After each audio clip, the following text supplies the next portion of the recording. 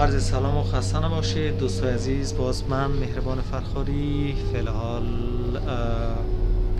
جای سفر داریم اما دیگه بنا بر شرایط قرنطینه که تمامی به اسلام و تیرین یا قطار و یا هم به زبان آلمانی چوک هیچ کسی نیست. فقط مصوم یک دیوار دیگه ایم است که سلام بردان میگه.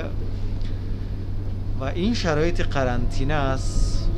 یک مسئله است. میگه ما دم در افغان دینم بانی بگم شجر و مردی در تو تا در دوان سر مینوتو شویدم که بتون دیستون چون دیگه.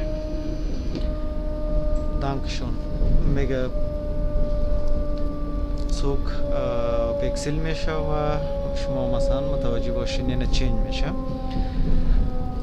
یک مطل داریم گفتیم که میگه زمستان میره و روسیاهی به زغال میمانه اما کرونا میره و خوب مگم ترس و وحشت و فاصله های اجتماعی و دوستی و خانوادگی در یاد خاطرات مردم این قرن 21 مادگار میشه